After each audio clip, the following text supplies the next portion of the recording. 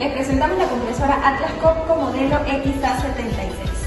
Esta compresora es de 165 CFM, su motor tiene un poder de 40 HP.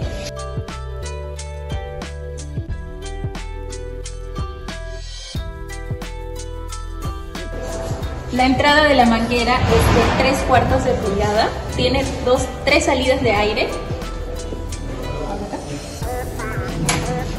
Este es su panel de control, llave de encendido, motor de fuerza, luz y el stop de la salida de aire cuando se hace el apagado del sistema.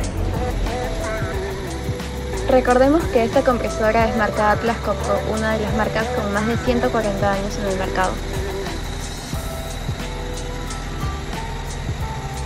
Este equipo lleva un motor Mahindra de procedencia hindú por lo que tiene repuestos en todo el mercado.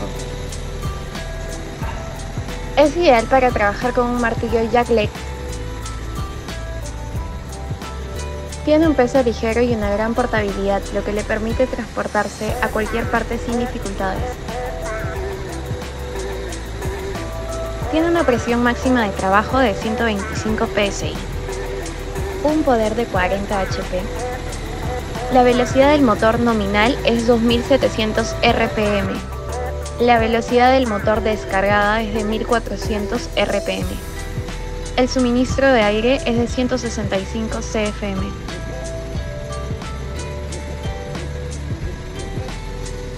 Para encender la compresora lo primero que debemos hacer es introducir la llave, dejar presionado el botón de carga de la válvula durante 30 segundos